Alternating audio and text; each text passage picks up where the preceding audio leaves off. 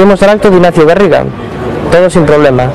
El problema sucedió cuando acaba, la- acaba el acto, vamos a Plaza Pontevedra, tres compañeros y yo, llega un, un hombre, sin conocernos de nada, se nos queda mirando, se nos acerca riéndose, va directo hacia mí y me dice, "Put- puta España, ¿eh? Sonriendo, puta España, estarás contento, fascista de mierda. Se queda mirando un rato hacia mí, me da un guantazo en la sien y acto seguido un puñetazo en la boca donde me revienta el labio y cuando huye grita fascista y sale corriendo por toda Plaza Pontevedra. no van a conseguir que tengamos miedo. Queremos ir más atrás.